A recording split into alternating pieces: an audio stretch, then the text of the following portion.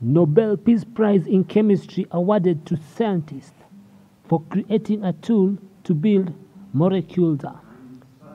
Benjamin List and David MacMillan were honored for work that spurred research into the new drugs and reduced the effects of chemistry on the environment.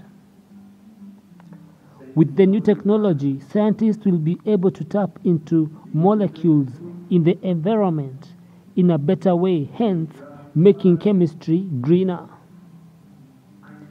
In an interview after receiving the news of the win, 53 year old scientist Mr. Benjamin List said that he and David MacMillan were working on the same project in chemistry unknown to each other in different parts of the world and only came to meet later in 1999 and started sharing ideas that led to this great chemistry breaker.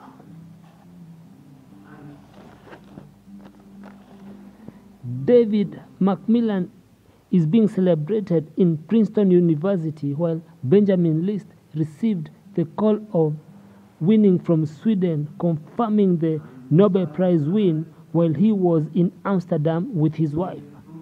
Great congratulations to these scientists for their great achievement. Mr.